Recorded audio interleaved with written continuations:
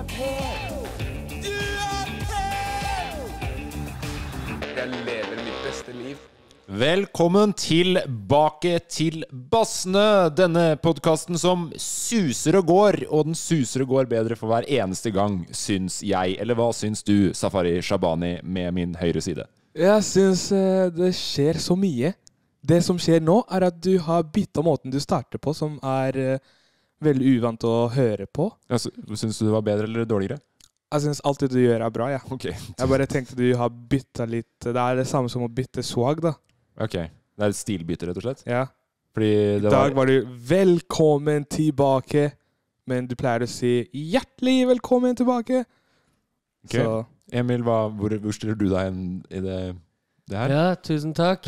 Hyggelig å være tilbake. Um, siden sist så har eh, Julian, vet du, Ja. seg synge den. Det er dit du skal. Uh, Ja, Jul- hva som har skjedd siden sist, ja. ja. Uh, Julian har lært seg den derre Old MacDonald had a farm. Oh, sånn, den har jeg sunget hele dagen. Ja, har du det? Uh, da er dere sånn telepatiske evner. Men han klarer ikke å si Fox, så han sier Old MacDonald had a fuck. Er det sant? Jepp. Høydepunktet mitt. Ok, ja nei, så Jeg skulle fram til deg og hva som har skjedd siden sist, eller hva om du har noe på hjertesafari. Da kan du jo få lov til å ta det, da, siden Emil tok det uten å bli med på samtalen vi hadde. Ok, um, det, som har skje, uh, det som skjedde Det som har skjedd siden sist Ja. Veldig mye som har skjedd. Veldig mye som har skjedd. Ja. Først og fremst har vi bytta navnet På Instagram. på Instagram fra Safari på Safari til Loff. Vi lanserte. Ja, Så- Og det har ikke vært problemfritt. Å, det var mye som skjedde. Å, dere, kunne, ha- dere skulle ha vært der. Fordi det som skjedde, vi skulle bytte navn, ikke sant? Så var det noe blanding med navnet på Instagram. Eh, den vil ikke bytte til loff.no. Og så eh, TikTok også var det samme der, men vi klarte å fikse det på TikTok. Og så var det noe med YouTube og Facebook, så var det mye greier.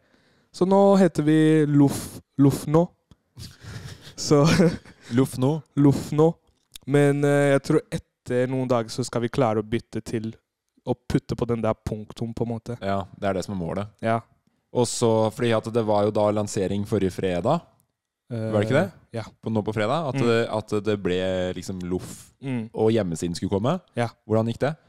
Uh, det, altså, det gikk ikke så bra med, med nettsiden. Uh, men det er på en måte Kristoffer uh, som eh, driver med Eller Ja, Driver og- produsent og produsent alt som- mulig ja. mann bak jeg der. bare Regissør. er liksom ører, hører på liksom hva som skjer, og er der for å liksom gi en sånn stotte Jeg er en stottespiller. Ja, for det tror jeg kanskje mange lurer på. Hva er den egentlige rollen din? Hva er egentlig jobbstillinga di? Altså, jeg, jeg gjør mye forskjellig. Jeg, jeg klipper Ja. film. Ja. Eh, planlegger ting. Eh, Er med å, å komme på med ideer av ting vi kan eh, ha på Loff. Eh, du vet, så, fordi vi må ha digge folk på Loff for å lage ting som er digg på Loff. Ja. Mm. Så jeg, ja, jeg gjør veldig mye, veldig mye forskjellig. Og på CV-en din så står det Hva er stillingen din? Hva heter det? På CV-en min Ja. så står det Kristoffer, Kristoffer, hva heter det på Spør, spør sjefen. Man skriver vel ikke på CV-en før man er ferdig i en jobb? gjør man det? Nei, hvis du Nei, kan jo skrive pågående, da. Ja, men Hva, det, altså, det står jo på Ja. mailen min Det står jo på mailen min liksom hva En gladbass, tror jeg. at, er, det stilling, er det stillingen du har? Eh, En ja. glad bass? En glad bass. Ja, ok. Hvor er det man utdanner seg for å bli det? Uh, Loff. Livets harde skole. Ja, det er livets harde skole.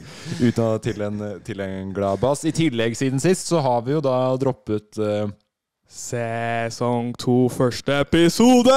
første episode. Vi skal snakke mer om det. Jeg har via en hel, hel spalte til det, faktisk. Mm. Så jeg bare tenkte liksom å gå gjennom den introen helt sånn greit uh, først. Hva er det du smiler av, Emil? Jeg kom på, Det er to linjer på Livets harde skole. Ja. Sinna Frp-er og Glabass. Ja. Safari i Glabass. Det er veldig få som skifter klasse, og der, der holder du deg i lanen din. Det er bare å spørre meg også hvordan jeg har det og sånn. Ja, hvem vil? Nei, herregud, jeg vil Eh, hvordan Men, har du det, Morten? Har du sett noe gøy siden sist? sånn, ja. før, sånn, før, vi før vi går bort til det punktet, ikke sant? Ja. Det er alltid eh, Morten, du tror at vi glemmer å si, si, si det, på en Ja, men det trekker jo så jæklig ut. Ja, men da fordi vi venter liksom på at det folk skytter inn, skal bli ferdig, så går vi til, eh, til deg, da. Okay, for jeg, Men du, du, du har liksom Men jeg skjønner på en måte punkt, eh, sånn, logikken i hodet ditt. Du har liksom tid. Jeg har Alt går med tid. Du vil ikke kaste bort tid. Så det blir sånn Ja, kan dere spørre meg, sånn at vi kan gå videre? Ja. ja, du fikk kaste bort et minutt på det der, da, i hvert fall. Jeg bare glemmer det helhjerta. jeg. Ja. ja. Men ja, hvordan, hvordan går det med deg? Tusen takk. Takk Hva har skjedd siden takk sist? som spør. Eh, Det er pollenhelvete. Oh. Ja, det er pollen ute. Følger med deg. Ja, du, du og jeg er litt like der, tror jeg. Emil, du er kanskje verre enn meg, eller? Nei, jeg har tatt sånne sprøyter i tre år, så Har jeg du det? har Funker det? digg. ass. Funker det? Ja. Fordi jeg, alt, jeg syns alt er litt sånn eh, Velkommen til mitt konstant fyllesyke liv. Sånn, jeg, sånn, jeg har aldri vært så mye fyllesyk uten, uten, uten å drikke noen ting. Men hvor Nei, ille før, det? før kunne jeg ikke se på et bjørketre uten å måtte ta epipenn. Ja. langt opp i rassen. Du, du du tok epipenn i rasshølet, ja. Ja, men uh, etter de sprøytene så har jeg det good. ja? Da skal jeg jogge Du meg prøve. tok en penn opp oppi Det er tre år, da. Morten. Du Tre år rekker jo så vidt å gjøre det før du er dau. Ja, Jeg tok det da jeg var ung. Okay. Da jeg var ung. Ja, Men du, du tok penn opp i rassen? Nei, han bare tuller. Nei, jeg, Han bare tuller. tuller. jeg har aldri tatt en epipenn EpiPen i hele mitt liv. Jeg, Jeg Men du, Ja, ok. du kunne potensielt tatt EpiPen? Ja, for jeg har mye syke matallergier. ja, Hva er det som er på den lista så bare folk ikke uh, nei, sånn uh, Hvis du har lyst til å drepe meg, så er det bare å dytte en kiwi eller en fersken i maten. Mandel òg, eller? Var det mandel òg? Ja, mandel, men jeg dauer ikke av det. Nei, ok. Hva skjer da?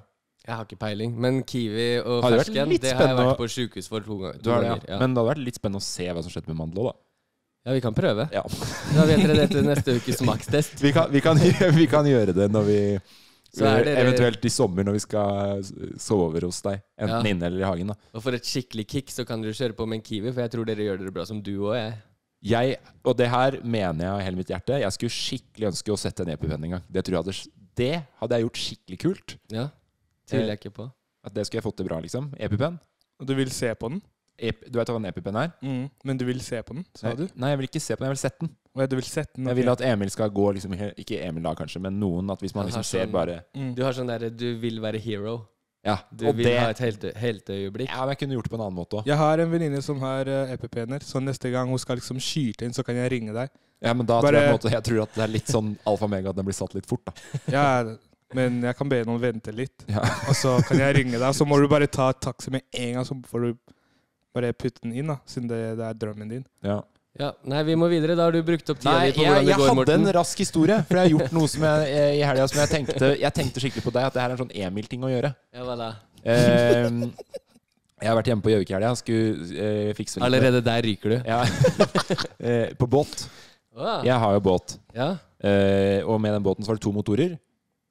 Motorer? Motorer? Er det stor båt? Har du sånn dobbel motor? Nei, nei, jeg har en To ekstra. ganger 300 hester? Nei, Liksom. nei, nei, nei to, to sekshestere. Som jeg Jeg har en båt, sa du! Du har en balje en balje, da. Som jeg fisker med med. Fisker med. Uansett, jeg bruker ikke den ene motoren. Så jeg tenkte bare ok, da selger jeg den. Bruker den på noe annet utstyr til båten. Mm. Så hele lørdagen så tok jeg og stelte og styrte med den motoren jeg skulle selge. Mm.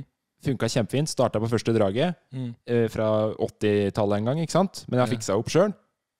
La ut bilder. Fikk solgt den på en time. Neste dag kommer han og skal Hente. hente. Og da begynner jeg å tenke sånn Fader, tenk om den andre motoren nå ikke funker. Det er så typisk min flaks. Ja. Så jeg selger jo av gårde den motoren som da åpenbart funker, og som jeg har styrt og holdt på masse med på lørdagen. Og irriterer meg så bare hvorfor. Hvorfor har jeg ikke tatt og sjekka om den andre også funker? Du tenkte det hele veien? Mm. Så du var i forkant av læringa di? Jeg tror jeg skjønner slutten av historien. Ja, ikke sant? Så det, etter at han har dratt da, så bare faen, den kommer ikke til å funke. Det er jeg nesten helt sikker på. Så jeg tar opp den motoren, motoren som motor, Faen, så vanskelig det var å si motor. Motoren. Jeg tar opp uh, den, skal sjekke den. Si engine. Engine. Uh, og drar opp den. Gjett om den funker da. Den som er igjen. Ja, jeg går for uh, noe lavere odds, jeg, og gjetter ja. Nei, altså så gjetter den funker. Ja, det, det er en veldig rar oppbygging. til det. Nei, den, den, fun, den funka ikke litt, Nei, en, den funka ikke litt engang. Så jeg driver og sier det. I tillegg så klarer jeg da å dra når jeg skal dra. Du vet, sånn, Å dra med sånn Det er jævla tungt. ja. Jeg tar i alt jeg kan og drar ut hele, røsker ut hele, hele tråden. da Hele startsnora. Hele altså, så, så det du prøver å si, er at du solgte en Morten som du ikke ville sol selge? Ja, jeg solgte den som funka, i hvert fall. da Så nå sitter jeg igjen med motor som ikke funker. Jeg kommer sikkert til å bare Fikk du nok penger for den andre til å kjøpe deg nye? Ja, akkurat, kanskje. da Så, så jeg tror vi ender Hvis du er flink til å prute? ja, Men eh, nei, så du har ikke tjent noen ting? Nei. Han har Men- tapt. Jeg kommer, har tapt. jeg kan, det jeg ender opp med å gjøre her nå, vet jeg, er at jeg kommer til å fikse den andre motoren nå som ikke funker. Bruke en hel dag på det. Ja, det er, der, det er der du har tapt. Du Ja. får kanskje råd til det med penger, men du har tapt tid. Det er tiden som er eh, Det som er at Jeg syns ikke en dritt synd på deg, fordi du visste det i forkant at eh, du ikke hadde testa den. Ja, Så men, du, hadde, du hadde tid til å snu. men Nei, jeg bare men du tenkte ikke over det. Du bare tenkte ok, nå har jeg fiksa den. Ferdig. Ja. jeg, den, jeg brukte jo den mot, motoren som er igjen, brukte jeg jo hele fjor. Så jeg tenkte at den kom til å funke.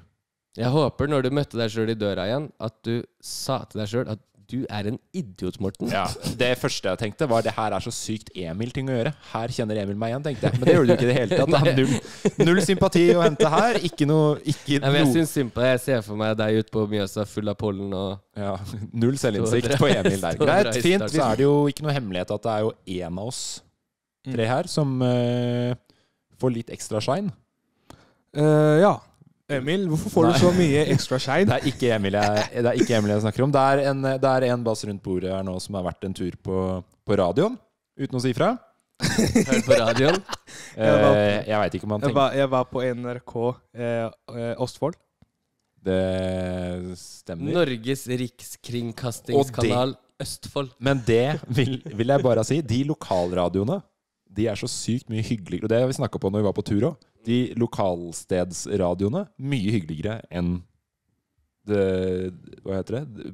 Big corp- Mainstream. Mainstream Mm. radio. da. Mainstream media. Men er ikke, det sånn, er ikke det sånn det er på en måte sånn Du vet når ting er lokalt, på en måte? Ja. Da er det sånn alle hyggelige mennesker. Til og med Mysen. Sånn når uh, ting skal feires, alle feirer sammen og i gater og Mens Oslo, det er Oslo, liksom. Det er sånn Du er alene, du er alene, du er alene. Mens Folk sliter litt i Oslo med at du ikke får plass til alle i en leilighet, som du gjør i Mysen. Det er sant. Skal vi ta oss og høre Jeg regner med at du ikke har hørt noe av det her, eh, Emil. Fordi du er jo ikke best på radio. Det Hva er, er det vi skal uh, høre på nå? det er P7 Klem som fortsatt går på radioen. og, og, og, Ja. og det jeg tenker, er at du skulle ikke ha hørt Du har vært på radio i dag, vært, nei, ikke i dag. eh, for, eh, for noen dager siden. Men okay. klokka men var Morten legger jo opp til at ikke jeg skal ha hørt. Ja, fordi jeg det var hører om for, det for første gang nå. Nei, Jeg det, det kom jo Du har ikke hørt på det, Fordi Jeg det kom jo at- klokken syv på morgenen. Jeg vet ah, ja. at eh, Jeg har i hvert fall et lite klipp her som jeg tenkte du skulle spille av. Ny sesong av Safari på Safari. Alle barns og alle voksnes nye favorittprogram på YouTube. Er du våken, Safari? God morgen! God morgen. Safari, hvor lenge er det siden klokka di ringte nå? Eh, klokka er nå syv. Eh, to ish timer. To timer? Har du vært oppe så lenge? Ja, Jeg har vært oppe rundt eh, Eller fra fem, da. Men med litt sånn, litt sånn innimellom. Hvor, hvorfor, Men hvorfor sto du opp så tidlig? eh, altså, noen ganger så er det kroppen min som bare våkner opp eh, etter sånn fem-seks timer. Oh, ja. eh, hver dag. Så jeg, jeg klarer ikke å sove lenger enn det. Oi, du trenger ikke så mye søvn du, da. Nei, tydeligvis ikke. Oi, oi, oi. Men uh, jeg håper jeg kan sove lenge en dag. Det er liksom, det er liksom en, drøm, en, en drøm jeg har om å sove lenge en dag. Men kroppen bare klarer ikke. Ok, Safari. Du har også vært på NRK Østfold og ljuger. Var det intervjuet? Ja, det, var det, det, var det, jeg, det er det jeg har bitt meg merke i, da som jeg har tatt ut nå.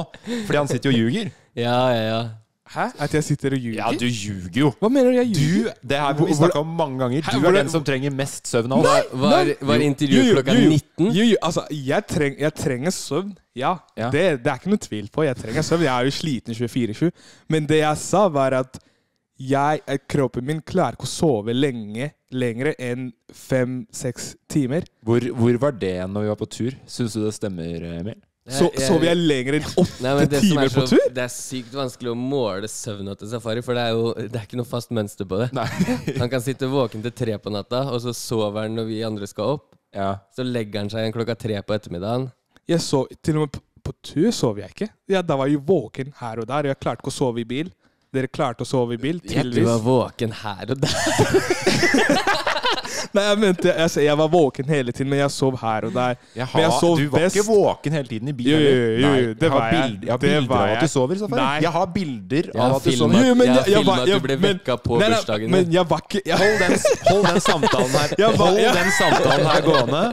Hold den samtalen gående, skal Men jeg finne et bilde av jeg, Safari. var, jeg, var, jeg var ikke våken 24-7. Nei, det er det ingen Det, det som Det er ja, ja. langt ifra. ja, men jeg var, jeg var liksom våken mesteparten av turen, kan jeg si. Nei. Og ingen kan Jeg var våken mesteparten av turen. Du var våken 4-7.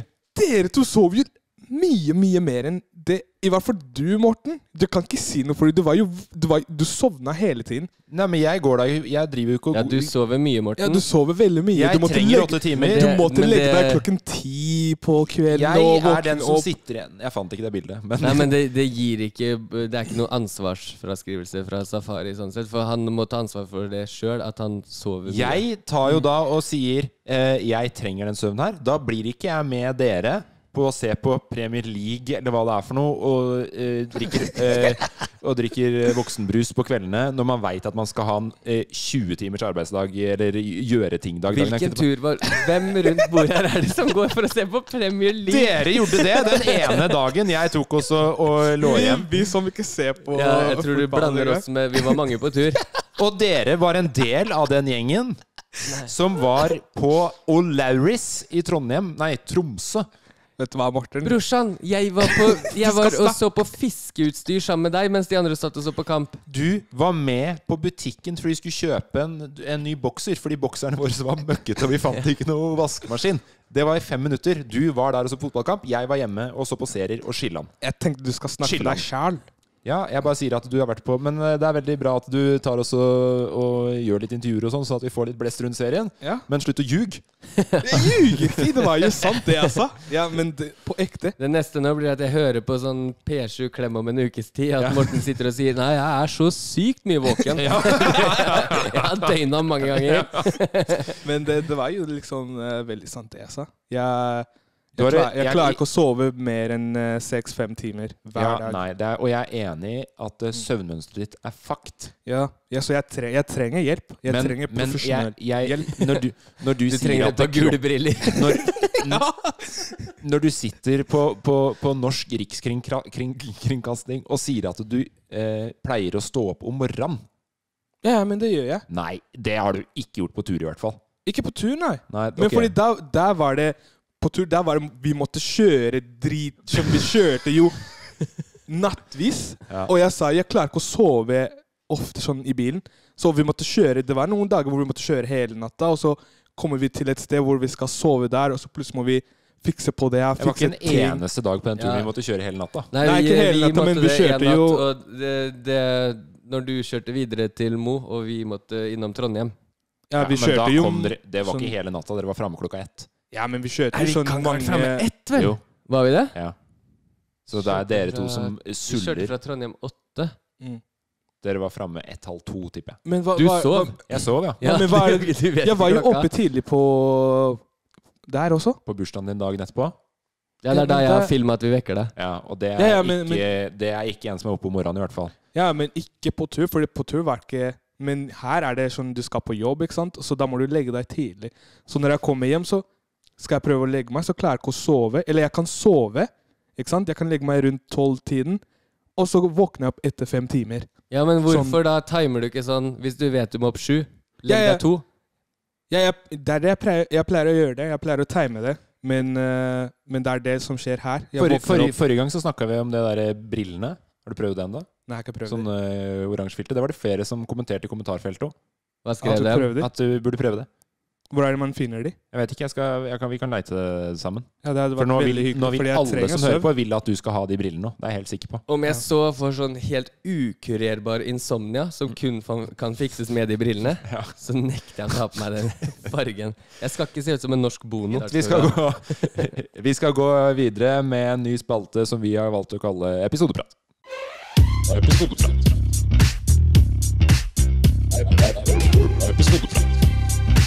Ny spalte som vi har valgt å kalle Episodeprat. Ja, i ukene som kommer nå, så droppes det jo en episode av uh, suksessserien. Suksessen. Uh, safari på safari, sesong eh, Forhåpentligvis. da. Vi vet jo ikke om det er en suksess ennå, men vi håper jo det. Sesong én var i hvert fall en suksess. Sesong to har vi enda høyere forhåpninger til. Jeg har, jeg har skikkelig håp. Du har håp. Hva, Mhm. hva er drømmen din med serien? Hva, hvor, hvor langt håper du at eh, vi skal nå?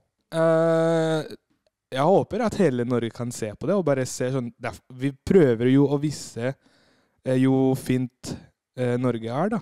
Ja. Gjennom en bass som ikke har opplevd det før, og noen basser som har opplevd Norge eh, 2 av Norge, så opplever, de, opplever vi hele Norge sammen og viser liksom hvor fint Norge er. Så jeg håper hele Norge kan se på det. Ja, det håper jo vi òg. Men, men første episode, da, dere. Kom på søndag. Eh, Nei, den den kom på søndag som var. Jeg kom på søndag Den. Den kom på søndagen som var. Eh, mye som skjer. Vi er på forskjellige steder. Ja. Vi starter med episoden med at eh, vi skal hente deg i Mysen. Mm. Der eh, tar det mye tid. ja. Fordi eh, dere ville dra med en gang. Ja, og Ok. det er jo fordi Jeg at ville, jeg ville bli. Ja, når, når Ingen klarer å dra med en gang når mamma Shabani er til stede. jeg vil bare påpeke noe, for jeg blir ofte sittende som en kjip person som vil at vi ikke skal kose oss. Greia er jo at vi gjennom hele turen så har man tight tidsplan for å rekke mest mulig av ting som er avtalt med andre folk. Og da virker det på lyttere og seerne våre virker det som at jeg bare ikke er keen på å spise mat med mamma Shabani, f.eks. Ja, sånn, ja. Men så er sannheten at vi egentlig har en avtale med noen andre som står og venter på oss et eller annet sted. ikke sant? ja. Det, blir, det, det kommer ikke eh, like godt fram. Så da blir jeg litt han kjipe som må si Nå må vi videre. Mm. ja, den er litt urettferdig. Ja. Samtidig så er det ikke våre avtaler vi bryter, så jeg og Safari driter jo litt i det. Nei, det er sant, det. Men når det er sagt, da, så var det veldig hyggelig å møte mora di og få mat. Det var veldig bra mat. Mm. Det var det vi spiste til middag den dagen, så vidt jeg kan huske. Mm. Ja, og mamma, Mm. mamma digger dere to. Og, og hele loffen. Men uh, det er vanskelig å se på, eh, eh, på tidsaspektet eh, i episoden. Men det endte jo opp med Det er tre timers forsinkelse vi snakker om. Ja. Ja, Men det ble litt, litt kanskje litt mer. Eh, kanskje litt mer òg, For jeg måtte pakke om skiboksen òg. Ja, det stemmer Det det. var ikke med. Nei. Den skoboksen. Ja, Skiv. Jeg bare kødder. vi var heftig forsinka. Ja, og vi Det endte jo opp med Fordi at vi, det neste vi er på eh, i episoden, er jo Espa. Ja. Og det ser jo ut som, og det er hemmelig for de som hører på podkasten nå, men det er jo et filmtriks, for det er jo ikke samme dagen. Nei, Vi endte jo opp med å måtte sove på en Airbnb. på Espa. Vi har vært på ferie på Espa. vi, har, vi er det- kanskje, og det er veldig få som har gjort det i Norge, vært fordi i episoden så sier de jo det. Vi er på Espa, vi er på Espa. Mm. Eh, endelig er vi på Espa, som om det er et feriested. Og vi er kanskje de eneste i hele Norge som har feriert på Det var én natt. Det var ikke så mange timer. Nei, eh, og det holdt òg, på en måte. Fordi Ja. for, Foruten om den bensinstasjonen med eh, claimet verdens beste boller, så er det ikke så mye Espa har å by på. Nei, det er sant, men jeg stortrivdes. Det var ingen naboer. Nei. Nærmeste nabo var toglinja. Og så vil jeg jo si den Airbnb-en var veldig fin. Ja, det var en veldig fin Airbnb. Og så Men den bensinstasjonen var også veldig fin. ja, Så dagen etterpå Ja. da, så er vi jo da på, på Espa, og du har på deg, du har på deg Espa-lua i dag, eh, Safari. Har du fått noen kule tilbakemeldinger på den lua, egentlig? Ja, det, var, det er mange som har kommentert, i hvert fall på TikTok. Hvor har du kjøpt den? på Espa. Ja, er det mange som spør? Ja, nei, det er jo folk eh, driver og De vet jo liksom fargene. Det blir sånn, Ja. har du på deg Espa-lua? Hvor, hvor, altså, hvor stort av innkommet på Espa tror du er på merch? Jeg tror Jeg det er ikke. overraskende høyt. Ja, det tror jeg også. Sånn helt latterlig mengde. Men når jeg ser den lua nå, når du har det Espa-boller bak fram, så ser det bare ut som du reklamerer for Shell. Shell? ja, bensinstasjon. Ja, sant den bensinstasjonen der, ja. Det kan jo godt hende at eh, Espa faktisk er en Jeg, jeg tror Espa er Shell. Espa er Shell, kanskje. Hvis ikke, så er det et rart fargevalg de har gått for. Men var bollene gode, Safari? For du fikk jo boller. Ja, de var gode. Men Mm. det hørtes ut som det var et men. Nei, nei, det var ikke, det var ikke et men. Det var bare sånn de, var jo, de var jo gode, men det er jo, jeg har aldri vært på et sted som har sånn karamellboller og vanilje. Dra på Del de Luca, så finner du eh, rosiner og sjokoladeboller. Og det mine damer og herrer, da skal vi avgjøre det en gang for alle. Safari Shabani, var det verdens beste boller? Eh, for min del, ja. Er det sant? Jeg hadde ikke trodd det. Ja, men tenk deg karamellboller. Karamell blandet med vanilje og litt sjokolade på sida. Ok, du gjør en bra, du gjør en bra reklame for Espa nå. Jeg syns det er helt, helt greie boller.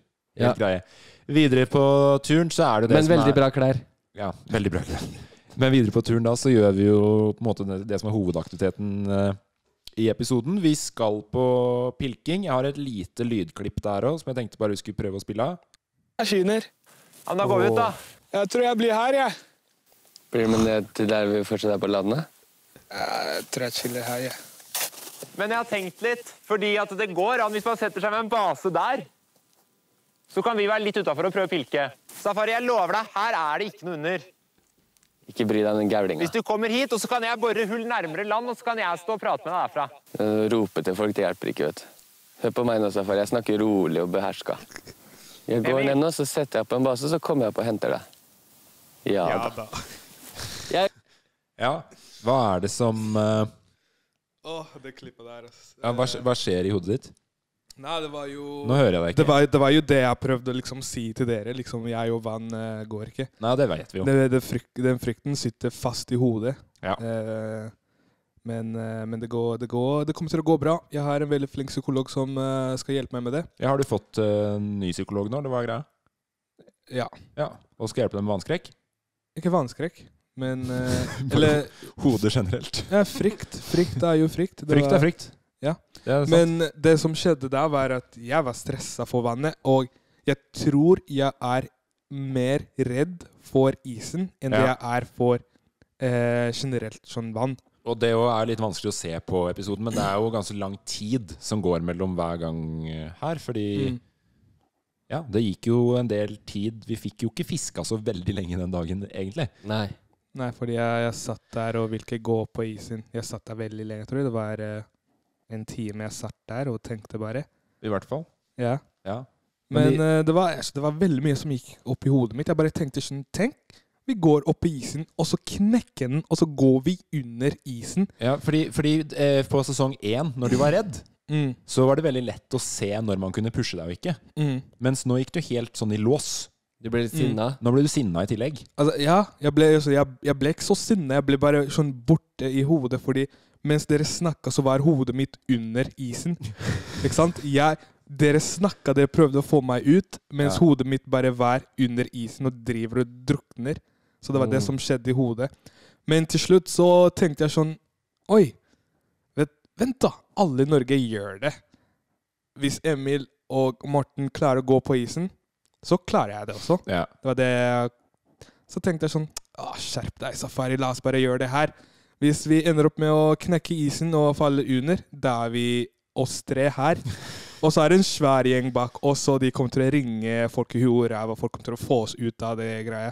Så, så det, det, det ga meg litt håp, da. Og Ja. da sto jeg opp og gikk og rett opp på isen. Og det gikk jo veldig bra. Jeg var bare veldig lei meg for at eh, for først at det ble litt Ikke en dårlig stemning, men kanskje ikke helt den starten jeg hadde håpa på, i hvert fall. Ja, sånn, ja. Eh, og så at vi ikke fikk fiska mer. Selvfølgelig. For jeg, jeg skulle jo gjerne sett at dere fikk litt fisk òg, men jeg skjønner at det er vanskelig når man Ja, det er sånn eh, For meg så starter liksom ikke betegnelsen fisk på så små individer. Det er det der jeg pleier å bruke som agn. Det er vanlig fiskekropp der, vet du. Ja, er Det, det ja, det er ikke kødd engang. Nei, så du plukker det inne ved land, og så Ja, altså, jeg, fisker, jeg har fiska fisker småbår, og så er det mye gjedde på det vannet. Så ja, det er det, ja. Ja, ja, ja. Sånn store Ja, relativt store fisk. Så Men det var bra det gikk bra. Ja. Og det var bra du fikk i hvert fall en positiv opplevelse ut av det til slutt. Mm. Nå skal jeg komme en, for nå er det så lenge siden at nå kan jeg komme med en liten tilståelse. Mm. At eh, den isen var ikke så tykk som det jeg sa. Så du, du, du, du fikk med Jeg visste at den holdt meg, eh, men Ja, og så var det litt sånn eh, Den var litt sketchy generelt, den isen. den isen Det var var flere lag med det, var, det hadde vært mye mildere enn det jeg trodde. Så det var 10 cm is. mm. Det går bra. Det tåler Det er sånn helt innafor sikkerhetsmargin, tenker jeg. Og så var det et lag med, Slush. med slush, 20 cm, og så et til lag med Mm. kanskje 10 cm is, da. Mm. Men ikke, er, ikke det safe? Jo, det er safe. Hvis ikke så hadde jeg aldri turt det. Men det som er på vannet der, og det ser man på de dronebildene, så ser man noen ganske mørke partier som er noen hundre meter bort. Mm. Så det var en grunn til at vi ikke gikk dit over, da. Mm. Nei, det var fordi jeg ble stressa når, du- jeg ble når du begynte å liksom gå skikkelig skikkelig langt langt inn. Ja. da. Fordi jeg kunne se liksom fra lang avstand sånn, ok, de delene her, det er jo hvite. Det betyr den isen der er tjukk, men de Ja. delene der er jo liksom Ja, det var noen litt mørke partier ja, der. Så det, er- det Jeg, jeg begynte å få litt sånne der varsellamper når vi måtte signere det samme som vi må når vi hopper fa- fallskjerm opp og sånn. Og så var det jeg som hadde skrevet det med dyster. sånn Signere bort livet. Små, store bokstaver. Familien får 9000 til begravelse. Dessverre bare det jeg har råd Er det det det koster for en begravelse, tror du? Tror du ikke det er dyrere? nei, på den fallskjermforsikringa så er det vel 100 000 eller 300 000 eller sånn man får. Til Jeg begravelse? bare, ja, jeg bare kødda fordi til etterlatte, men jeg kødda fordi at det er du som har lagd det. Så du har ikke råd til mer enn 9000, Morten. ja, det. Nei, nå bare ble jeg sånn Hvor mye koster egentlig den begravelsen? Nei, det koster nok mer. Ja. Nei, men eh, det er uansett gøy å være i gang, vise episodene. Mm. Eh, veldig hyggelig med alle som eh, kommenterer og gir tilbakemelding. Mm. Det er jo livets lønn, det. Ja, jeg det er veldig gøy å se liksom at folk liker det, Ja. og de får ut De får noe ut, liksom, Og- av episoden. Ja, og Nå skal jeg ikke snakke ned første episode, men jeg vil våge å påstå at uh, de andre er hakket mer trøkkete. Ja, men det er jo sånn det er. Safari på safari. Det starter her, og så det starter, Starter liksom nede. Det starter på én, Ja. ikke sant? Sånn, og så går det på Jeg tror jeg to. veit hvor den skal hen. Så det er sånn nivå, ikke sant? Ja. Og så kommer siste episode som blir på en måte som kylling. Skjønner du? Sånn der oppe. Så det, det, det går oppover. Hvis folk tror å, første episode var bra. Vi alle skjønner hvor vi skal en Safari. Vi går videre til spørsmål. så vi, går videre til, vi skal videre til spørsmålsrunden. Hva skjer hvis jeg får panikk da i lufta? Det kommer ikke til å nakke meg ut. Så når man sier jeg skal til merka, så er det jeg skal, til, jeg skal i skogen. Er det elg? Finnes merka i Bodø også? Men finnes det to merker? Ja, denne gangen så er det jeg som har funnet spørsmålet igjen, eh, Emil. Hva føler du om det? Det har ikke gjort eh, livet mitt noe fra eller til. Nei, fordi de f- spørsmålene, de spørsmålene du fant sist, var ræva. Det var det Eh, egentlig Ja, bare jeg syns eh, det er litt sånn eh, Jeg syns det var veldig bra, de som har skrevet de spørsmåla. Jeg stortrivdes med de. Ja. Eh, det, at du har så snever smak i spørsmål, er jo bare bra for meg, for da tar du over den her igjen. ja. Jeg har ikke sneversmak. Jeg bare går litt igjennom. Eh, Kanskje neste gang jeg skal ta og finne ja, du kan finne neste gang, Safari. Det er jeg egentlig helt enig i. Eh, første spørsmål kommer fra eh, S- Sigrex DW. Sigrex DW. Eh, og eh, hun spør Jeg ser at det er en hund. Sig RXDW. Sigrid, kanskje? At foran. Ja, at, ja. Ja. Da er det Sigrid. Hvordan vet du det? Eh, Det er hvis det er at foran. Da er det Sigrid. Details. Vi vet jo godt hva Safari og Emil er redde for, men hva med Morten? Oh. Og det tok jeg litt med, fordi at jeg merker at jeg noen ganger kan virke bitte litt usympatisk i episodene. Fordi jeg virker som jeg er jo modig, da. Hva er Nei, hvor hva, skal vi begynne? Hva, å, vi må begynne med alle aktivitetene vi ikke har fått gjort. Uh, på grunn av hva, deg? hva er det du er redd for? Eh, jeg, jeg, tror ikke du er redd utrygge isforhold, isforhold, i hvert fall. Nei, det er jeg ikke redd for. Jeg tror du er redd for å miste tingene dine. Okay, Det er jo ikke en veldig frykt. Det er mer bare sånn at det er irriterende hvis det skjer. Du har høydeskrek. Nei.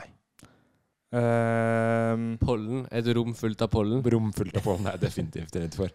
er du redd for å fly? Jeg syns jeg kom ganske godt ut av det her, for det virker ikke som jeg, jeg virker ikke som jeg er redd for noe. Når du sa fly, det er faktisk litt gøy, for det er den eneste gangen jeg har vært redd for å fly. Kulde. Jeg er ikke redd for kulde. Du grua deg en uke i strekk til å sove ute i kulda. Ja, det gjorde jeg. Og du spurte meg hver dag. Men eh, gruer du deg? nei, men det var, Der var du redd. jeg, Nei, jeg var ikke redd. Jeg er litt redd for å ikke få sove. Ja, det er jeg òg. Men, men eh, når det er sagt, så tror jeg selv at jeg er, jeg er ikke så redd for sånne ting. Nei. For dere har veldig sånn som er veldig lett målbart.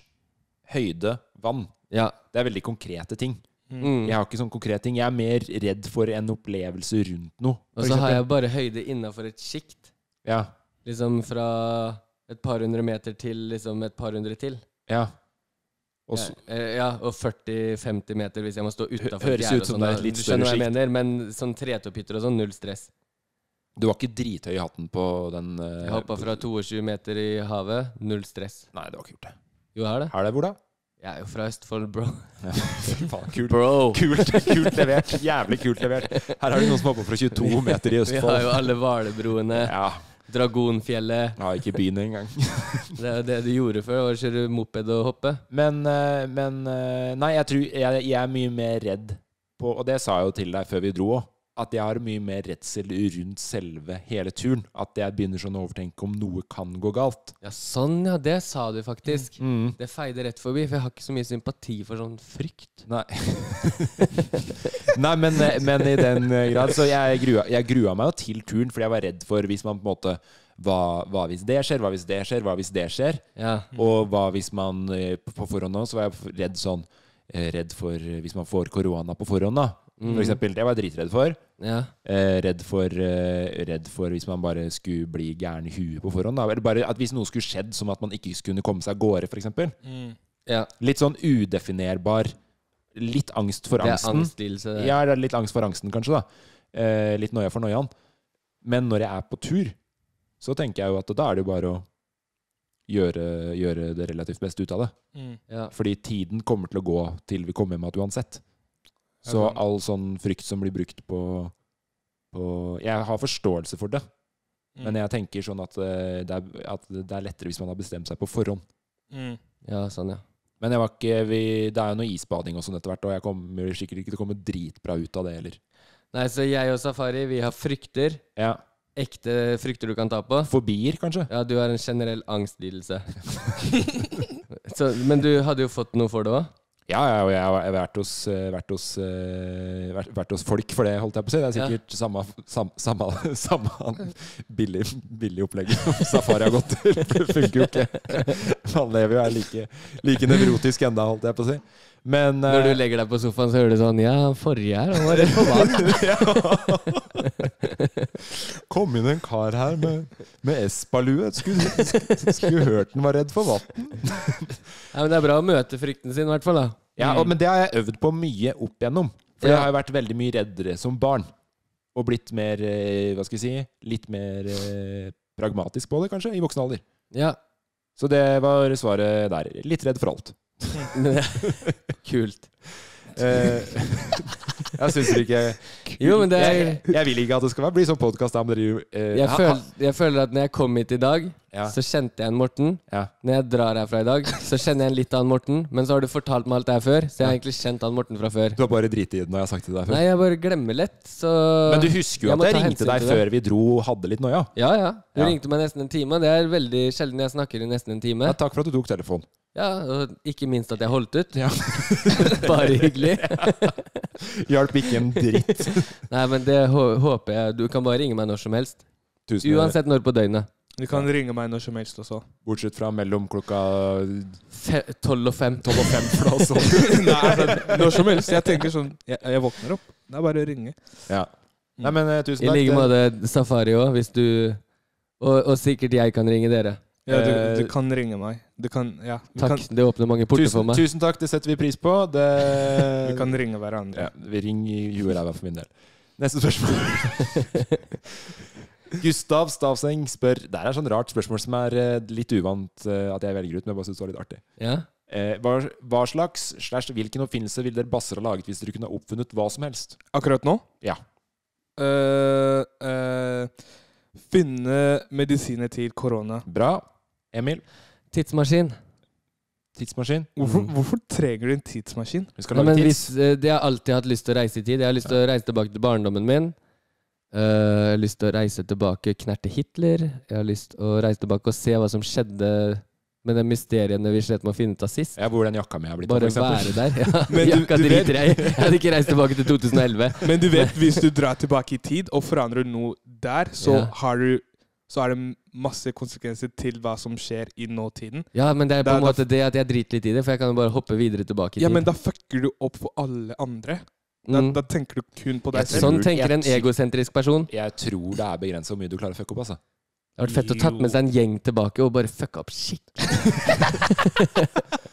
Eh, ja, det er mye sånn Du er jo bra, selvfølgelig. Korona, korona Det er jo på en måte litt funnet opp, da. Ja, Det er jo et jævla kjedelig svar.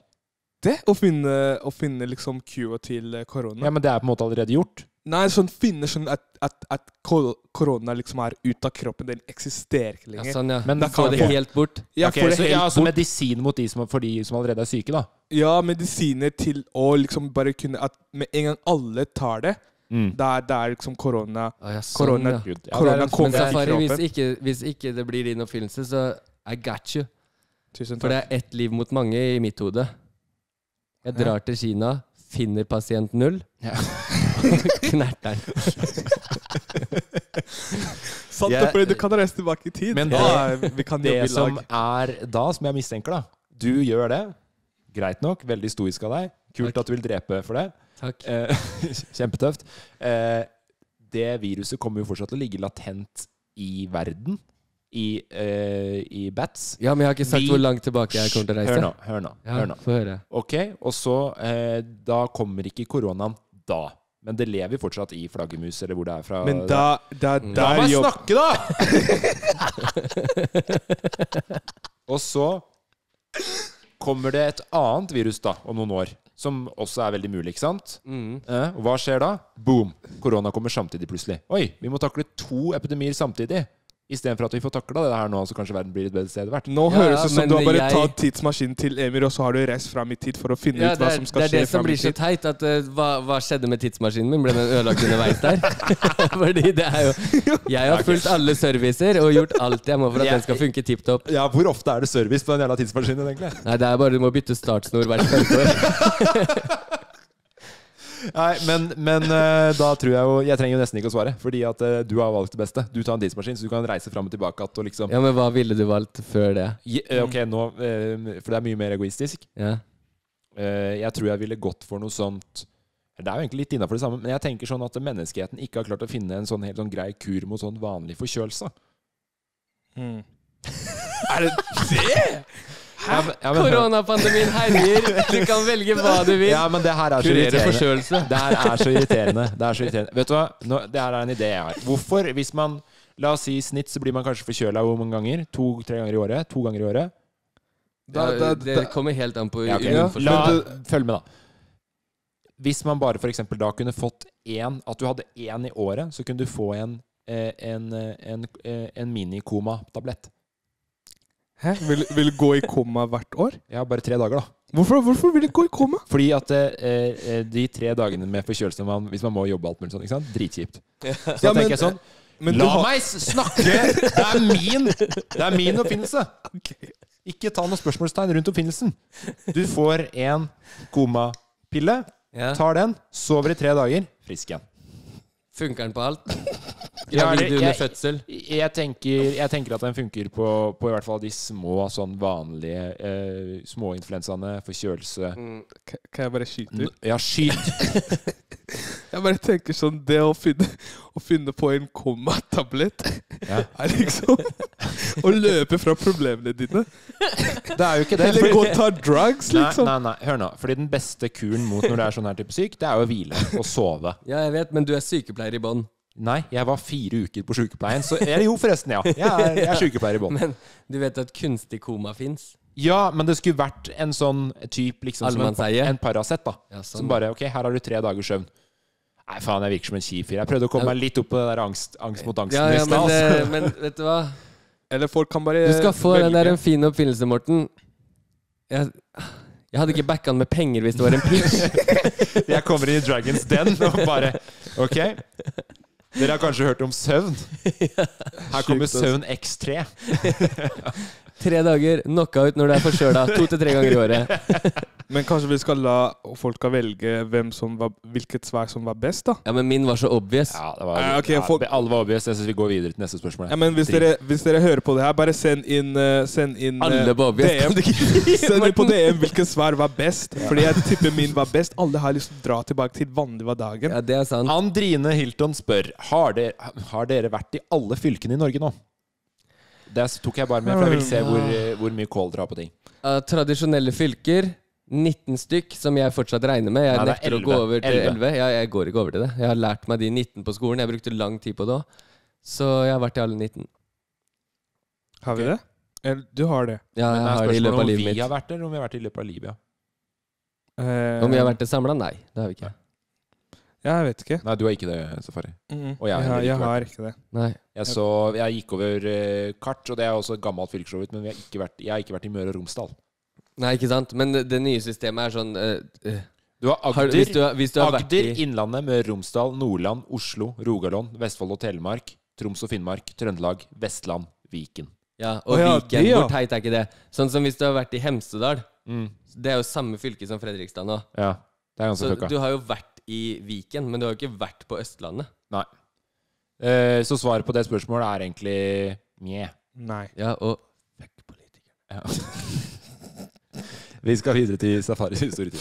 Presidenten av Zambia, hver en gang han eh, skulle prøve å hoppe og så, han bæsja på seg som, som skikkelig. Hit it, Safari. Ok, jeg har skrevet et par eh, For denne historiestimen så har jeg skrevet et par punkter. Eller det er ikke sånn punkter, men det er sånn eh, Jeg har bare jævlig mange historier for tiden. Ja, du sa det i stad. Kanskje Ja, så jeg, jeg har bare begynt å liksom samle de opp, fordi jeg pleier å glemme ofte. Så nå jeg, jeg kan bare si tre tittel på, eh, på eh, historiene. Ja. Jeg skal begynne å skrive titler, sånn at jeg kan skrive bøker en dag. Kjør. Men uh, tittel nummer én Mistet sko da jeg var kid. Ok. Eh, tittel nummer to Flyskrekk. Start Ja, liksom hvordan den starter, hvordan jeg, eh, hvordan jeg fikk Nei. Flyskrekk, start, tubolens. Det er navnet. Jeg gleder meg til å kjøpe de bøkene her. Og så er det Men må Min- vi velge hvem du skal ta, eller skal du ta begge to? Dere kan velge. Min første angstpanikk. Det er liksom titler på historier. Okay. Neste gang jeg stopper på Ark på Oslo S Mm. på, med dårlig tid til toget, Ja. og det står 'Flyskrekk, startturbulens. så skal jeg rive med meg den boka. Hva, hvem du kan få lov til å velge historie i dag, du, Emil. Uh, ja, jeg har jo flyskrekk sjøl, så det er litt spennende å høre hvordan din starta. Ok. Yes, da kjører vi den. Vet du hva? Eh, Dere vet, right, Netflix-serien Black Mirror, Ja. eh, der du kan være med underveis i historien på filmen, ikke sant? For å Ja. vite hvordan filmen går. Det skulle vært sånn eh, på podkast òg. At man kunne stoppe opp på YouTube eller Spotify her nå Og og valgt, ja, sånn er jeg. valgt historien. da Ja. Da kunne du også valgt liksom hvor, hvor tette svar dere skal få. om- Og så om man vil ha liksom sånn PG13-versjon av den podkasten her, eller der vi på en måte er Det var en veldig Grov. sjuk idé. Kanskje vi skal komme Kanskje det er oppfinnelsen min! Ja. ja det, det, men bra bytta ut. Nei, vi vil fortsatt sa det i tredagersskolen. Jeg synes det virker så skitt. Men eh, ok, vi kan vi, vi kjører på med historie. Kjør på. Altså, det, det, det her Det her var det verste som har, som har skjedd. Ja. Det verste. Ok. Fordi jeg, jeg vil ikke dø, liksom. Nei, det skjønner jeg jo. Eller før jeg, før jeg har kjøpt meg med et hus. Og etter det så kan Ja, vær så god, kast meg ut i vannet. Men, men det som skjedde, var eh, jeg og noen kompiser eh, En kompis av meg skulle spille i Trondheim. Så vi tar Spille hva da? Spille konsert. Eh, ja. Ok, ok. Spille konsert i Trondheim. Jeg var med, jeg skulle ta bilder og liksom være en uh, hypeman på Ja, scenen. derfor, derfor fikk jeg svar på oppfølgingsspørsmålet mitt, for jeg visste ikke om du var rapper eller Oh, ja, nei, nei, jeg skulle være med Han sa han skulle ta bilder. Ja, han Jeg sa det. Han, jeg sa han svarte Mm. på oppfølgingsspørsmålet mitt. Hør etter, Morten. Så uh, vi Og jeg, jeg har reist mye. Dere vet liksom jeg har reist veldig mye med Det er ingen som liker en skrytalsete safari. ja, ja, men all, sånn, De fleste vet Safari danser og har vært med på landslaget. Og vi har reist mange ganger ut av Norge, i Norge for å danse. Ingen liker en skrytehals, bare fortsetter å skryte. Men ja, jeg har reist veldig mye. Aldri hatt noen problemer med fly. Nei. Jeg digger fly. Og jeg digger når det er liksom litt turbulens her og der. Ikke sant? Så det som skjedde da vi reiste til Trondheim Alle på flyet hadde lest liksom at det skulle være liksom masse vind. Uh, jeg hadde ikke lest noen ting, for jeg leser ikke. Jeg bare hopper på flyet og chiller. Så vi er på flyet, og så chiller jeg. Og så merker jeg liksom hm, det er et eller annet som ikke stemmer med flyet. Så jeg slutter å høre på musikk, ser rundt meg. Ok, alle har det bra. Liksom Alle smiler og ler. Kidsa bak meg. 'Mamma, pappa, hei!' Ikke sant? Alt er good. Og så etterpå så er det et eller annet sånn sjekk i flyet driver og liksom krangler opp i lufta. Jeg tenkte det her høres ikke Det her kjennes ikke bra ut. Og så får jeg sånn skikkelig magefølelser. Jeg tenkte åh, Gud, håper du er med oss nå. og så flyet dropper litt, lite grann. Det var liksom den første turbulens. Og sånn dropper litt Ja. og sjekker litt. Og så, og så var jeg liksom Å, ja, turbulens. Det her er ikke noe problem. Og så begynte liksom flyet å bare droppe enda mer ned. Og denne gangen det var liksom skikkelig at alle på flyet begynte å liksom Alle begynte å stresse. Og jeg har aldri sett folk stresse på flyet før. Alle stressa. Kidsa begynte å gråte. Og så var det liksom to, to babyer bak meg som begynte å skrike 'mamma'. Og jeg ser på de, og der flyet begynte liksom å bare gå helt ned. Der trodde jeg liksom noe, nå er vi ferdig, nå er vi døde. Ah. Kompisen min holder hånda mi, og jeg driver og skriker og skriker etter mamma. Nei, er det Er, sant? ja, er der 'Mamma! Mamma!' Og de kidsa bak meg også 'Mamma! Mamma!' Forventa du at hun skulle komme? Nei, jeg bare skreik 'mamma', fordi jeg tror når jeg er redd, Det så er er jo et mamma primalskrik, Ja, da. så det er det er på en måte liksom- ned Ja. på sånn Ekte frykt. Ja. Ja, så instinktivt, da. Så Jeg roper aldri på mamma, for hun er mye svakere enn pappa, vet jeg. Ikke fordi mamma er svak, men hun er spedere bygd enn pappa. ass. Men du tenker at det er det man lurer på? Fordi at hvis, hvis du hadde vært i et fly og du hadde vært på vei ned til å krasje, så ville du at faren din skal være Nei, med deg? Nei, ikke at, han heller. fordi Jeg roper på Arnold er? Schwarzenegger. Men han, han klarer deg jo ikke Han er svær som et beist. Men, klarer, men han klarer klarer ikke å fly det flyet opp. Ja. Nei, jeg bare sier det er Fortsett min go-to historien guy. din. Det er en jævla idiot på venstre side. så, så jeg skriker etter mamma, og jeg ser bak meg Kidsa driver og skriker etter mamma, så jeg ser opp til moren til de kidsa. Og så skriker jeg mamma også, Ja. mens jeg ser på moren til kidsa, mens jeg holder hånda til kompisen min. Så jeg altså er der og skriker mamma sammen med kidsa. Det høres som vi er i kor. Og så begynner jeg liksom å få eh, sånn skikkelig angstpanikk, da. Ja. Og så går det bra liksom med flyet. Og så går det fint, liksom. Og så starter det igjen. Og det slutter aldri helt til vi landa. Og når vi skulle lande, så var det liksom Flyet gikk til venstre, gikk til høyre. Og jeg trodde sånn Ok, nå er jeg helt ferdig. Og så landa vi, beina skjerve, jeg klarte ikke å bevege på meg, og det var liksom helt jævlig. Og så Andre gangen jeg tok fly tilbake til Trondheim, Mm. det var da skreken starta. ja, for da ble du redd for den gangen. Ja, så nå er jeg dritredd for å fly. Ja, for du, det var litt sånn på, på safari på safari nå. Ja, Så flydde vi jo ja til Svalbard. til Svalbard. Mm. Eh, Emil, du, jeg vet jo at flyskrekken din er høyest reell. Ja. Eh, du har vært på kurs for nå. ja, og ikke minst, jeg har hatt flyskrekk. Jeg har også reist veldig mye. Hatt flyskrekk siden første gang jeg satte mitt, mine ben i et fly som barn. Ja. Eh, og den- du får en ganske kjip farge. Mm, men jeg er ikke så redd når jeg reiser alene. Sånn, eh, det er hvis, uh, hvis jeg reiser med broren min, faren min eller mora mi hver for oss. Ja. Så, fordi da er det alltid én eller to som sitter igjen. Sånn som hvis både jeg og broren min skulle styrta, Ja. så vet jeg at mamma og pappa ikke har noen barn igjen. Skjønner du hva jeg mener? ja. Så min frykt er mest for de som sitter igjen, ikke for å dø Det er veldig bra at du klarer å få deg sjøl til å virke som en såpass uh...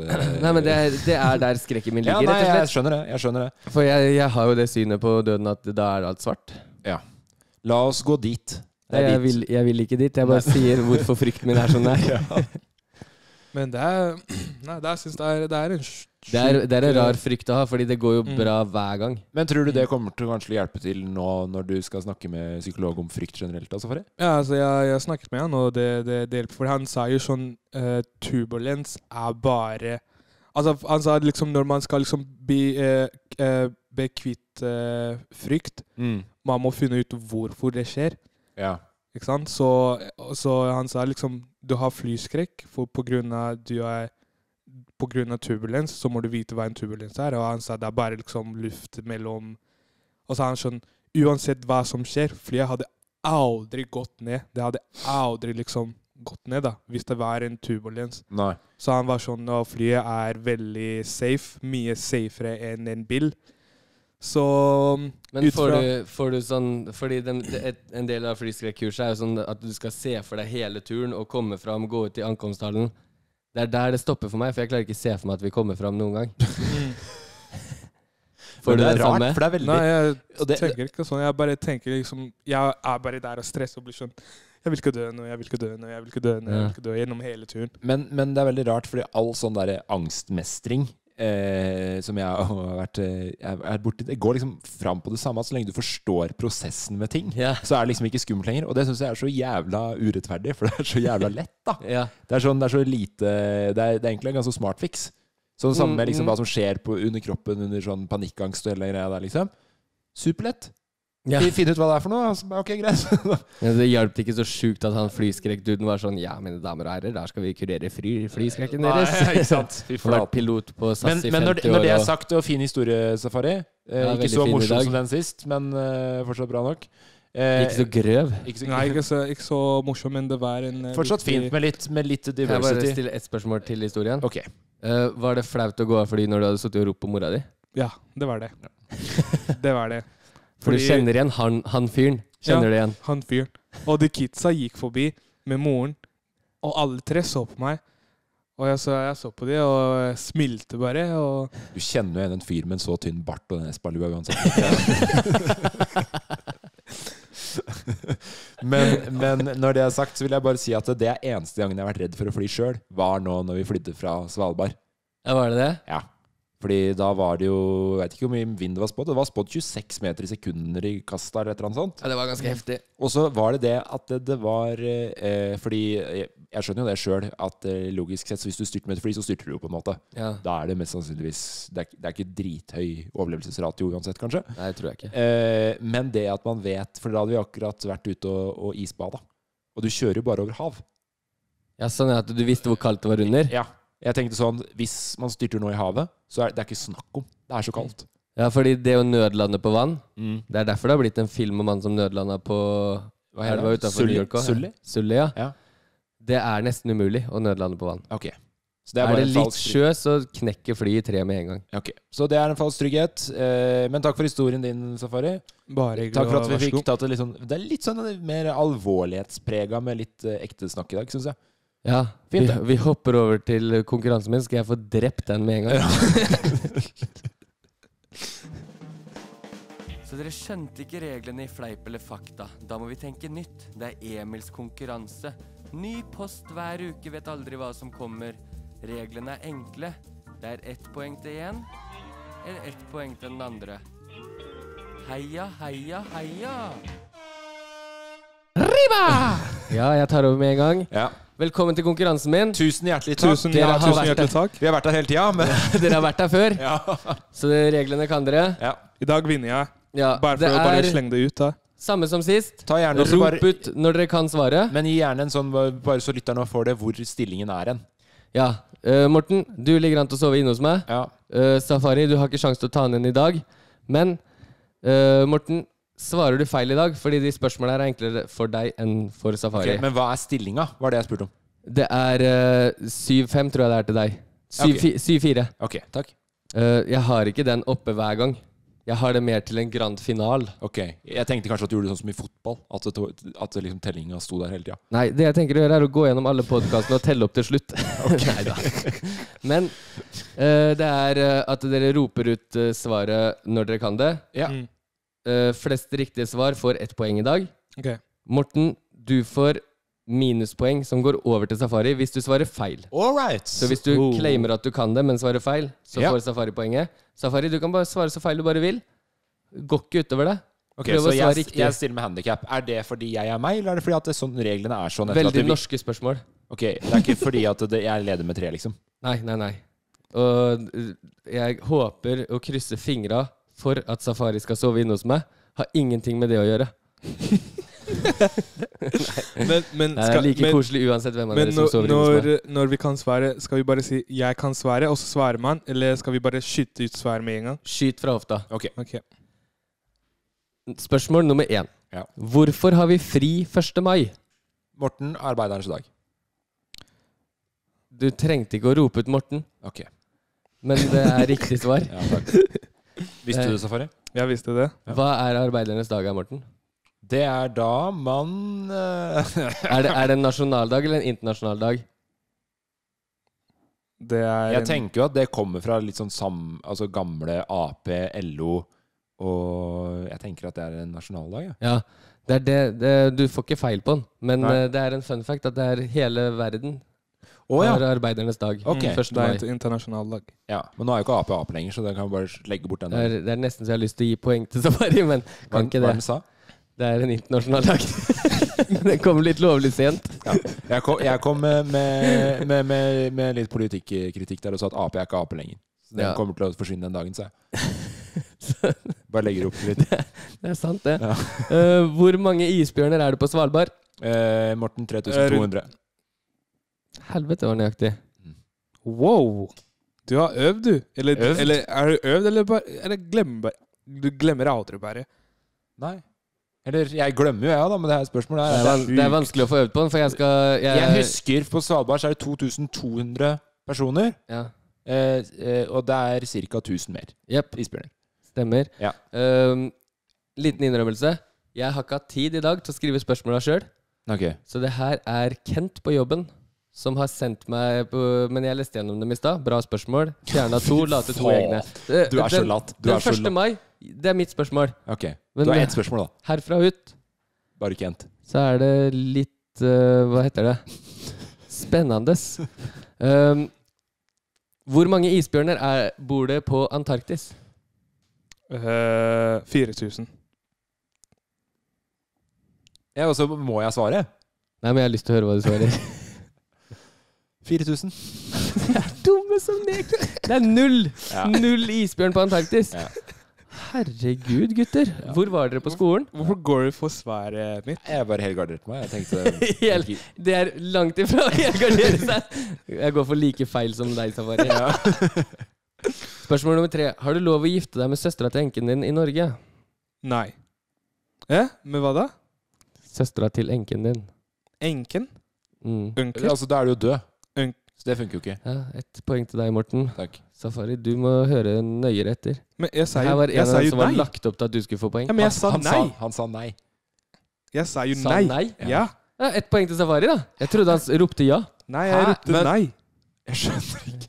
Det er, han har, det er jo et ja-nei-spørsmål. Han kan bare tippe. Jeg sa jo svaret. Ja, ja, ja men du spurte. Han sa det først. Ja, men du spurte. hva er svaret, da? Og jeg, s- jeg svarte nei. Hvorfor det? Jeg trenger Jeg trenger ikke å vite hva svaret er. Jeg bare svarte på sp- spørsmålet. Så det er en tippekonkurranse der, da. Nei, men han, han hadde jo rett. Ja, jeg hadde jo rett. Men uh, søstera til enka di, da er jo du død. Mm. Det er det jeg sier. Det er enka di, ja. Morten svarte riktig der. Ja. Du svarte riktig, men jeg også svarte riktig fordi Fuck off. Kjør Fordi videre. måten Yep. han eh, spurte på, var jo et ja eller nei. Ja, og så svarte jeg nei. Og du svarte 100 riktig. Stolt av deg, gutten min. Uh, spørsmål nummer fire. Hvor høy er Gaustatoppen? 2000 meter over Nei. havet. Nei. 1874. Oh, ni meter ifra. Ja. 1883. Ja. Du, jeg hadde godtatt den, skjønner du.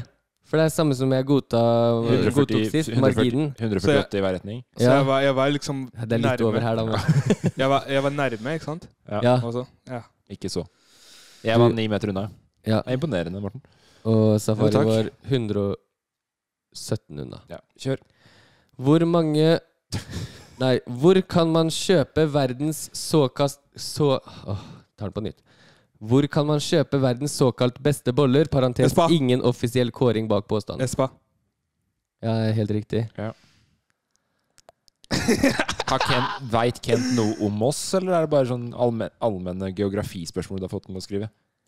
Altså, Nei, det er jo eh, Vi hadde en telefonsamtale rundt det, så jeg har vært litt med. Ja, for, er det- du sjefen hans, eller hvordan er det? Hæ? Han jobber på jobben din, er det det du sier? Ja. Er du sjefen hans? Eh, vi har flat struktur. Men i teorien så er du sjefen hans. Du har bedt en av arbeiderne som jobber på jobben din, om å lage en quiz. Hva er det dere gjør på den jobben din egentlig? I teorien. Hva er det dere egentlig gjør på den jobben din? Nei, det, vi driver med eh, mye forskjellig. Rebellkollektivet. Et Rebellkollektivet, sjekk det ut. Det de gjør på jobben, er å jobbe. Ja, og det her er eh, Nå er jo jeg på jobb. Ja.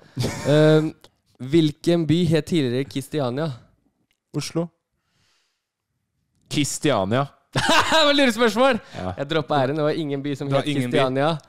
Så Får jeg- Safari, der fikk du poeng. Nei, Ah, det der yes. syns jeg er dritt, ass. Jeg sa, jeg sa jo ingen by, etter du sa Oslo. Og til slutt, hvor mange kubikk jord er i et hull på fem ganger fem meter? 25. Det er null kubikk jord i et hull. Morten, den runden her vant Safari glatt. Bare på at du ikke lytter. Jeg sa, jeg sa jo tre, for jeg var jo Han, sa, han har jo feil, han Ja, òg! jeg Ja, er men jo det har, nærme det null! har ingen konsekvenser for han å ta feil. Det har sånn ingen det var. konsekvens for Det var sånn det var. Og jeg digger at jeg vinner i dag, Fordi da nå er jeg Hvor, Vet du hva? bare, jeg klarte ikke å følge med. Hvor mange poeng fikk jeg? Du fikk tre. Ok, Og Safari fikk Fire. tre av meg, da, eller? Han fikk to av deg. Ok, og ett aleine, ja. Ja, Ett, ett, ja. jeg, jeg svarte jo to selv. Kjempebra. Det var morsom konkurranse, da, Emil. Nei, for det er, Ja, det her var er veldig AB. gøy. Det her var veldig gøy, Emil. Der røk dere begge to. Der fiksa Ja, Safari vant. Jeg sa feil uh, sluttsum. Ja. Uh, 4-3. Ok. Så Det går- det går hadde, jeg ikke, hadde ikke han fått poeng fra meg, så hadde jeg vunnet Da glatt. hadde du Da. vunnet overlegent. Ja. Mm. Eh, på slutten, når vi går gjennom hva vi har lært i dag, Ja. så håper jeg at jeg hører fra din kant Ja. at du har lært deg å lytte bedre. Ok, og da skal vi videre til hva vi skal avslutte. Lytte hva, og hva- resonnere. Hva, hva er det vi sitter igjen med etter, etter Det, dagen i det jeg sitter igjen med, er at uh, å lytte bedre. Veldig bra. Og det, er, og det er noe jeg òg kommer til å ta med meg, ta med meg videre. Ja, I tillegg bra. så syns jeg det hadde vært morsomt at vi At uh, Safari gikk for en veldig alvorlig historie i dag. Som var litt sånn, Det var ikke noe punch. Det var bare uh, Rett fram. rett fram litt trist og Ja. litt uh, skummelt. Snakka litt om frykter i dag. Uh, syns det har vært gøy at Safari ljuger på NRK. Ja, det Jeg ljuger ikke. Jeg lærte meg at du er en ljughals. Vi skal ikke starte med det her, men jeg ljuger ikke. Ljuger noe jævlig på, på, på Riksen. Jeg ljuger ikke. Jeg er en siste som ljuger. Det er det som er, fordi når vi, har, gjort- vi var jo på God morgen Norge sammen, forrest, for eksempel. Du og jeg. Mhm. Eh, var det i fjor? Mhm. Og da er jeg der og passer på at ikke du ljuger. Nei. Da går det stille og rolig for seg. Nei, nei, Med en gang du får frie tøyler, bare piss. Altså, Bare, bare ljuging. Jeg tenker, i hvert fall- Det eneste jeg tenker, er at jeg ljuger aldri, og det står jeg for. Har vi fått noen shoutouts fra noen store podkast denne uka her? Nei, da hadde jeg tatt det opp fra starten. Okay. Det pleier jeg å ta legge inn i starten. Så er det foreløpig fortsatt bare Thomas og Harald. ja. Ja, men basically Radio er en svær Radio er bare en podkast som Vi skal avslutte. Hva er det du sitter igjen med etter i dag, Emil? Nei, jeg sitter ikke igjen med så mye læring. Jeg uh, lærte jo litt om uh, hva du er redd for. Ja. Uh, Syns du det var greit? Fikk en oppsummering. Ja, Tror veldig. du jeg kommer ut som en mer For det, det her har jeg fått Det er helt sant at jeg fikk en tilbakemelding på det. At jeg virker litt mindre sympatisk på episodene enn dere, fordi dere har det veldig konkrete, menneskelige frykten. Ja, sånn, ja. Ikke sant? Nei, altså Og så du spurte noe konkret om jeg føler du kommer bedre ut av det. Om jeg kanskje virker mer sympatisk nå. Det er jeg noe jeg er redd litt, for. Jeg må ha litt tid til å drøfte på det der. ok, Jeg kommer til å spørre deg neste uke. jeg gjør det. Ja, så må tenke på det. Ok, Tusen takk, Safari. Da tror jeg, jeg tror vi avslutter, jeg. Ja. ja. si ha det, da, Safi. Ha det bra! Ha det. Ha det. Norge! Du er på! Du er på! Jeg lever mitt beste liv.